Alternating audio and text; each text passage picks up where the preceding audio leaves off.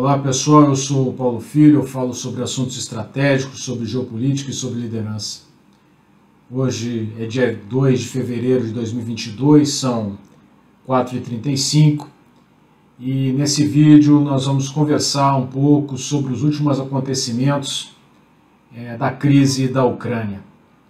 É, eu preparei alguns slides, vamos ver se funciona aqui, para que a gente possa conversar sobre esses últimos acontecimentos. Mas antes disso, eu queria começar com essa frase de Clausewitz. Né? Clausewitz, vocês sabem, o grande general prussiano que escreveu da guerra um marco né, nos assuntos estratégicos. As notícias que nos chegam em tempo de guerra são quase sempre contraditórias, na maior parte das vezes confusas. As, as mais numerosas são, em grande parte, sofrivelmente suspeitas. Então Clausewitz escreveu isso lá no início do século XIX, no seu livro da Guerra, né? livro publicado pela sua esposa póstumamente, que livro inclusive que o Clausewitz não conseguiu terminar.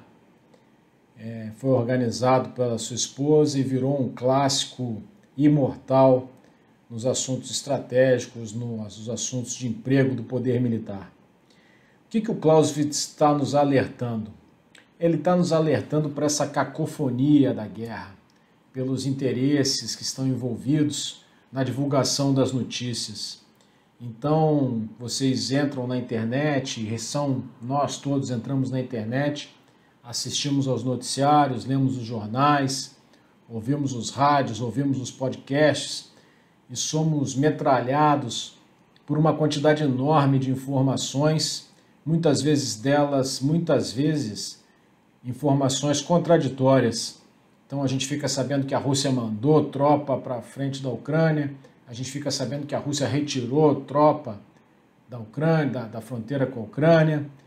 É, notícias que sempre é, são plantadas, né, são organizadas e divulgadas de acordo com interesses. Nós não podemos negar isso, né? Então, sempre que vocês lerem uma notícia, que vocês virem algum vídeo no YouTube, que vocês ouvirem um podcast, ouvirem notícias de qualquer fonte, analisem quem está falando, quais são suas fontes, aonde que ele pegou essa notícia de um jornal russo, ele pegou essa notícia de um jornal ocidental, é, qual é a fonte primária da notícia, qual é o interesse que pode haver por trás da divulgação desses fatos. Né? Esse, isso atende aos interesses russos, isso atende aos interesses americanos, europeus, ucranianos, dos envolvidos é, em todo esse embrólio, que, essa crise da Ucrânia. Então a gente tem que ler tudo isso e aí usar a única ferramenta que nós dispomos, que é o pensamento crítico. Analisar, checar dados, verificar interesses, meditar, juntar essas informações com outras informações que nós já temos anteriormente, isso está coerente, isso não está coerente, e tentar chegar a algumas conclusões. Então é com base sempre nesse exercício né, de tentar pensar criticamente, tentar filtrar todas as informações que nos chegam, que eu vou tentar passar para vocês os últimos acontecimentos com as minhas opiniões a respeito desses acontecimentos. Bem, vamos começar então por, pelo que aconteceu na segunda-feira, que é a que foi né, a reunião do Conselho de Segurança da ONU para tratar desse assunto, a primeira reunião para tratar desse assunto. Então, o Conselho de Segurança não resolveu nada como era esperado. Né? Rússia e Estados Unidos trocaram acusações mutuamente e nenhuma resolução, nós não podemos esperar que saia nenhuma resolução do Conselho de Segurança que vá por fim essa crise. Por quê? Porque o Conselho de Segurança ele é organizado, como vocês sabem, por 15 países membros, o Brasil inclusive é um país membro desse, sendo 10 temporários e 5 permanentes.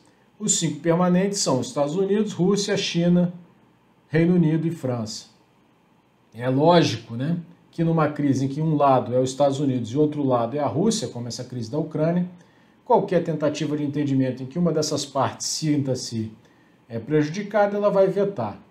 Então, mais uma vez, se comprova que esse modelo do Conselho de Segurança é um modelo ultrapassado, é um modelo que não atende à realidade atual e a comunidade das nações né, vai ter que chegar a um novo modelo de organização de uma entidade parecida com o Conselho de Segurança, ou então reformular o Conselho de Segurança para que ele volte a ter alguma efetividade nos casos realmente importantes, como é esse caso da Ucrânia. Então, mais uma vez, se comprova isso.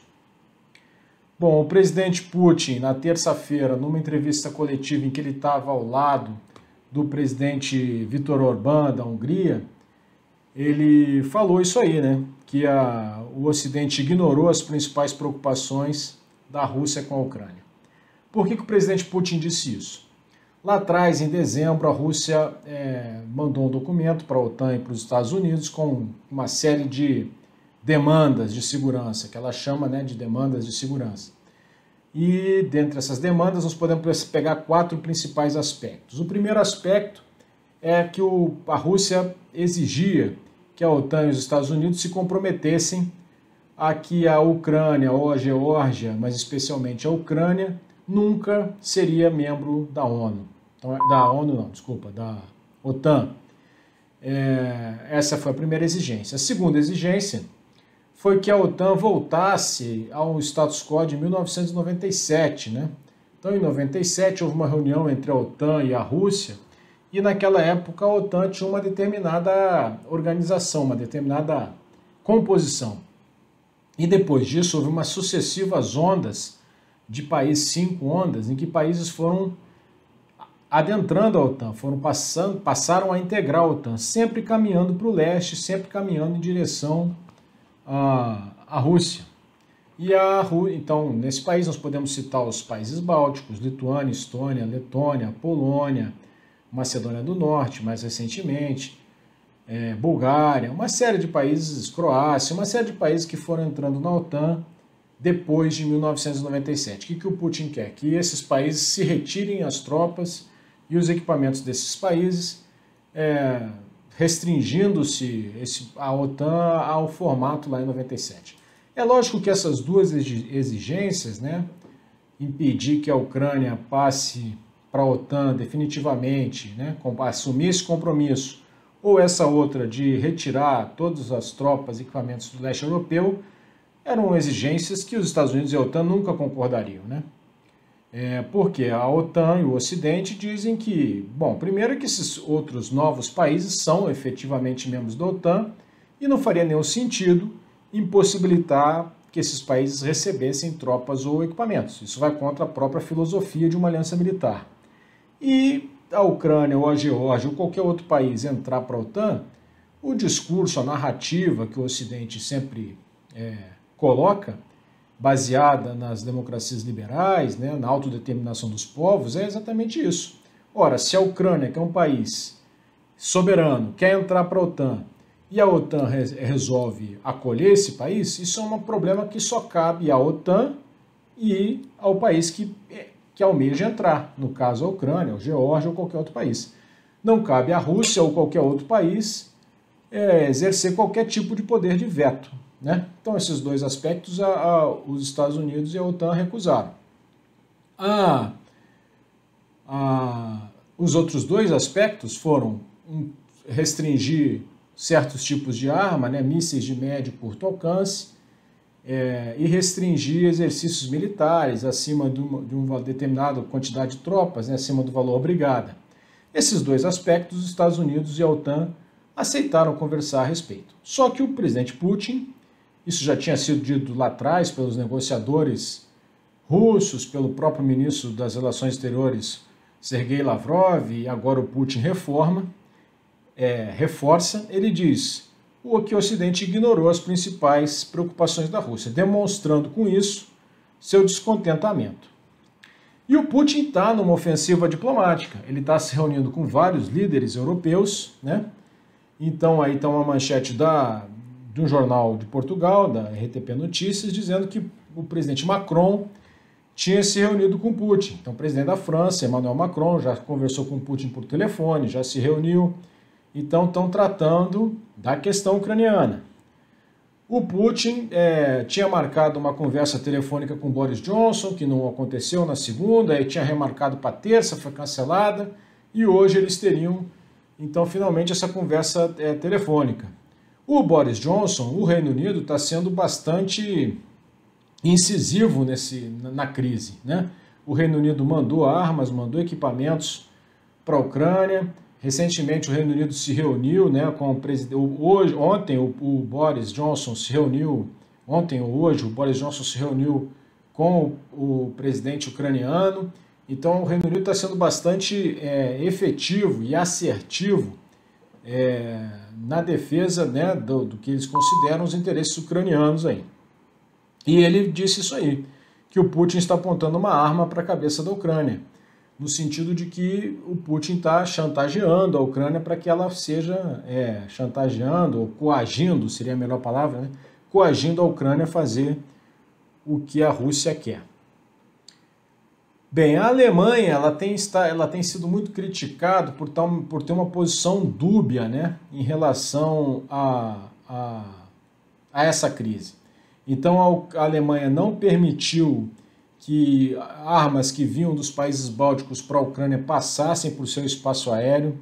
Ela se recusou a fornecer armas. Ela ofereceu 5 mil capacetes, é, o que foi motivo de, de piada na Ucrânia, né? É, será que não vai fazer falta para a Alemanha 5 mil capacetes? Então, assim, e houve também o problema lá do do comandante da Marinha, que fez declarações dizendo que o Putin só queria ser é, respeitado, né? É, declarações que pegaram muito mal no âmbito da OTAN, inclusive o comandante da Marinha teve que se, se é, pedir exoneração, né? pediu para sair, o comandante da Marinha foi destituído da sua função. É, a Alemanha tem graves, tem muitos interesses energéticos né, com a Rússia, a questão da energia sempre tem que ser considerada. Um terço da energia consumida na Europa vem da Rússia. A Alemanha e a Rússia acabaram de terminar as obras do gasoduto Nord Stream 2, que é um gasoduto que, que traz energia pelo Mar Báltico né, para a Alemanha, que não está funcionando por causa da crise. Então a Alemanha ela está sendo, ela não está é, mostrando né, pra, para com a Ucrânia o mesmo comprometimento que, por exemplo, o Reino Unido e a Polônia é, têm mostrado. A China, por sua vez, né, a China está aliada à Rússia, pressionando os Estados Unidos. Né? A China tem se mostrado, nesse caso, como em outros, é, sempre do lado russo. É lógico que a, que a China não tem se manifestado muito sobre, esse, sobre essa questão. Ela mantém uma, um low profile, né, uma, um perfil baixo nessa crise, é, cuidando dos seus próprios interesses, mas se ela tiver que escolher um lado, certamente ela escolherá o lado russo. Bem, pelo lado da Ucrânia, né, vocês veem essa notícia de hoje aí do jornal Deutsche Welle da, da Alemanha, né, dizendo que a Ucrânia tem uma parceria trilateral com a Polônia e com o Reino Unido. É, então, como eu disse, Polônia e Reino Unido têm se mostrado, né, dentro da, dos aliados da OTAN, aliados europeus, os que têm mais apoiado, é, com mais intensidade, têm apoiado a Ucrânia. Bom, e aí temos a Belarus, ou antiga Bielorrússia, né? É, esse aí é o presidente Lukashenko, né, aliado de primeira hora do presidente Putin, e ele diz né, que, se for necessário, Belarus irá à guerra é, é, ao lado da Rússia. Muito bem. Por que, que Belarus é importante? Porque, como vocês podem ver nesse mapa aí, esse mapa do, de um jornal é, do Reino Unido, é, Belarus está ao norte da Ucrânia. Eu não sei se o meu mouse vai aparecer aí no vídeo, mas Belarus está aqui, ao norte da Ucrânia. Então a Ucrânia é cercada por Belarus ao norte, pela Rússia a leste e sul, inclusive na Crimeia, que era ucraniano, ucraniana e passou a ser Rússia, né? A Rússia tomou. E ainda tem um pedaço aqui da Moldávia que também está ocupada por tropas russas. Então a Ucrânia ela ela está vulnerável por sul, por leste e pelo norte. E está acontecendo agora, já começaram essa semana preparativos para um grande exercício militar unindo é, é, Rússia e Belarus em território da Belarus. Então a Rússia está mandando uma série, um grande efetivo de tropas para Belarus para participar desse é, exercício chamado Allied Resolve é, 2022. Esse exercício é, vai acontecer efetivamente em campos de instrução de Belarus entre 10 e 20 de fevereiro. É, 20 de fevereiro é uma data importante, nós vamos conversar mais para frente sobre 20 de fevereiro. Mas é uma grande preocupação do Ocidente que esse exercício esteja encobrindo também a concentração de tropas russas, né, além de do próprio território russo, no território de Belarus. Enquanto a Rússia concentra tropas no seu próprio território, ela pode dizer que ela está exatamente nisso, no seu próprio território, e fazendo exercícios que só cabe a ela julgar se é o caso ou não, de acordo com a sua soberania. Quando a Rússia manda tropas para Belarus, a situação se complica. Ela tem que justificar esse envio de tropas. Então ela está justificando com esse exercício. Um exercício que tomou um vulto que não era esperado, não estava planejado para ser desse tamanho é, até o ano passado. Então, é, tem essa situação de Belarus. Né? E aquela guerra de propaganda, né, de informação e contra-informação a que eu me referi no início do vídeo. Então, essa manchete aí da CNN, na TV russa são os Estados Unidos e a OTAN que estão prestes a atacar a Ucrânia. Então, vocês vejam que as narrativas elas vão sendo colocadas, né? É, e isso tudo faz parte das ações coercitivas do Estado. Por que, que um Estado faz uma guerra? O Estado faz uma guerra para atingir objetivos políticos. Né? O próprio Clausewitz já dizia que a guerra é a continuação da política por outros meios. E você usa o poder militar, mas você não usa somente o poder militar. Você pode usar outras, várias outras é, formas de coagir o seu adversário a fazer o que você quer. Você pode usar o poderio econômico. Então, por exemplo, os Estados Unidos e o Ocidente estão ameaçando a Rússia de pesadas sanções econômicas, sanções econômicas nunca vistas. Então, isso é o Ocidente usando seu poder econômico para coagir a Rússia a fazer o que ela quer. O que, que os russos estão fazendo? Estão usando seu poder militar, ou seja, estão concentrando forças na sua fronteira, mandando forças para Belarus para coagir o Ocidente a fazer o que ele quer. Então é uma guerra de vontades, né? é uma dialética das vontades em que é, esse é o conflito. E também outras formas de conflito, guerra cibernética, guerra da informação, é, guerra jurídica, inclusive, né? Então, várias formas de guerra. Nós já estamos vendo o que aconteceu na Ucrânia, com guerra cibernética. Então, tudo isso são ferramentas na mão dos dois estados, né, das duas partes, para fazer o, com que a outra parte faça o que ela quer. E parte disso né, é a guerra de propaganda. É a construção da narrativa para convencer o seu próprio público interno da justiça da causa. Então, para convencer os russos de que eles de que a, de que a causa é, russa é justa, eles vão ficar convencidos de que o agressor são os Estados Unidos e a OTAN. Para convencer a opinião pública europeia e a norte-americana de que sua causa é justa, eles vão tentar convencer que o agressor é a Rússia. Isso faz parte dessa guerra de narrativas. Aonde está a verdade? A verdade está em algum lugar nesse meio. Nenhum dos dois lados é totalmente puro. Agora, cabe a cada um de nós julgar aonde está a maior justiça da causa, né?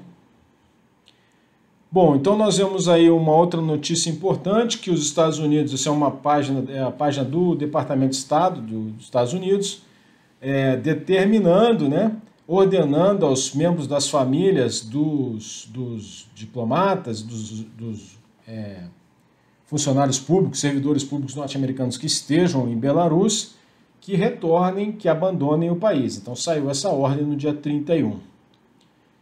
É, essa é uma notícia de hoje. O presidente Biden se comprometeu né, a, a, mandar mais é, pessoal, mais 3 mil homens. Né? 3 mil homens é um pouquinho, podemos considerar que é um efetivo de uma brigada, né? pouco menos que uma brigada, talvez é, três batalhões, sem os, sem os meios de apoio logístico, apoio ao combate, é, para Polônia e para Romênia.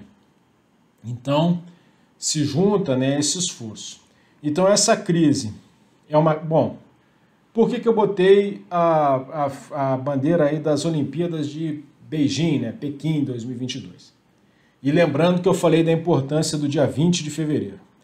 Então, as Olimpíadas de Pequim começam agora no dia 4 de fevereiro e vão até dia 20 de fevereiro.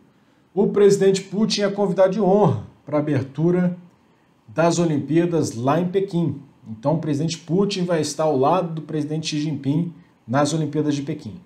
Lembrando que os Estados Unidos lideraram um boicote que não foi muito exitoso, né?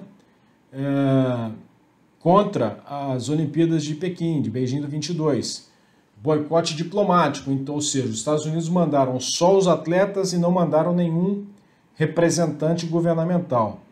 É, os Estados Unidos foram acompanhados por mais 12 países, ou seja, foi um boicote muito que não atingiu os seus objetivos. Desculpa. Bom, Pequim, é, durante a, a trégua olímpica, é uma tradição de 3 mil anos. Né? Então, desde que as Olimpíadas foram criadas lá na Grécia Antiga, cessavam os combates para que as cidades-estados pudessem mandar os seus representantes para competir. E essa foi uma tradição mantida nas modernas Olimpíadas, lógico que nem sempre respeitada. Mas agora mesmo, para Beijing 22, foi aprovado na Assembleia Geral da ONU uma trégua olímpica. O presidente Xi Jinping, bom, em 2014, aconteciam as Olimpíadas de Sochi, na Rússia, quando a Rússia invadiu a Crimeia. E é, quando que aconteceu essa invasão? No dia seguinte ao encerramento das Olimpíadas de Sochi em 22. O presidente Xi Jinping e a China, elas, eles têm uma grande preocupação em que tudo dê certo nas Olimpíadas. Né? Eles querem mostrar uma China forte, uma China que se abre para o mundo, uma China poderosa. Né? E eles ficariam muito contrariados se a Rússia invadisse é, a Ucrânia durante as Olimpíadas. Muito contrariados. Isso deixaria o, o presidente Xi Jinping muito incomodado. Eu duvido que o presidente Putin queira fazer isso. Duvido. Então, assim, eu não, eu não sei o que irá acontecer, mas eu te, se eu fosse apostar, isso é a minha opinião, né? eu diria que até o dia 20 de fevereiro não vai acontecer uma, uma invasão né, da Ucrânia pelas tropas russas por causa das Olimpíadas de Pequim. É, no outro vídeo eu falei sobre as possibilidades, né? eu não vou entrar aqui nas possibilidades do que pode acontecer, que tipo de invasão que poderia acontecer, vocês podem olhar lá no outro vídeo. Mas se acontecer alguma coisa, eu tenho a convicção que será depois do dia 20 de fevereiro. Aí vocês vão ouvir por aí que o 20 de fevereiro é ruim, depois, no final de fevereiro, seria ruim para uma invasão, porque uh, o inverno vai estar tá acabando e aí vai dificultar o terreno. Olha, o terreno é um fator da decisão, né? Quando você emprega forças militares, você analisa missão, inimigo, terreno, meios, tempo disponível terreno é muito importante. Só que você dizer que o exército russo não tem condições de fazer um ataque porque acabou o inverno é você subestimar a capacidade de apoio ao combate, né, de apoio de engenharia, de apoio à mobilidade do exército russo. O exército russo pode atacar a Ucrânia em qualquer época do ano, de dia, de noite, com calor, com frio, com chuva, com sol, vocês não precisam ter nenhuma dúvida disso aí. Bom, então vamos voltar aqui, né? Acabou a preparação que eu tinha é, do meu do meu do meu PowerPoint. É, então essas eram as informações mais relevantes que eu tinha para passar para vocês. É, eu espero que vocês gostem desse vídeo. Se vocês, por favor, comentem nos comentários, botem alguma dúvida, alguma questão, que na medida do possível eh, eu vou respondendo. Aí na tela vocês estão vendo o meu Twitter, né? Paulo Filho underline 90. Eu queria pedir para vocês para deixarem like aqui no vídeo, se inscreverem no canal, compartilharem. Se vocês têm algum amigo que acha que vocês acham que vai gostar desse conteúdo, vai gostar de conhecer o canal, por favor, é, compartilhem com ele, né? É, e se vocês, aqui na, na descrição desse vídeo, eu vou colocar um link né, para vocês comprarem, é, se quiserem, né, entrarem na minha lista de desejos, como vocês podem ver atrás de mim, eu sou um cara que gosta de livros, né? Então eu tenho uma lista de desejos é, na Amazon com uma série de livros que eu recomendo. A maior parte daqueles livros eu li, né? Eu recomendo. Os outros com, com indicações de amigos que eu ainda pretendo ler. E se vocês comprarem pela Amazon usando aquele link, vocês vão estar me ajudando a manter o canal, né? Os custos todos que envolvem a manutenção de um canal, manutenção de um blog, o tempo que eu dedico às pesquisas, a escrever os textos. Se vocês quiserem conhecer os meus textos, estão lá no blog paulofilho.net.br e lá vocês vão encontrar também como, se quiserem, apoiar o canal, tornando-se um apoiador. Tá bem, pessoal? Então, assim que nós tivermos novas notícias sobre a Ucrânia, eu prometo que eu faço um novo vídeo para vocês. Tá bem? Cuidem-se bem, até a próxima. Tchau!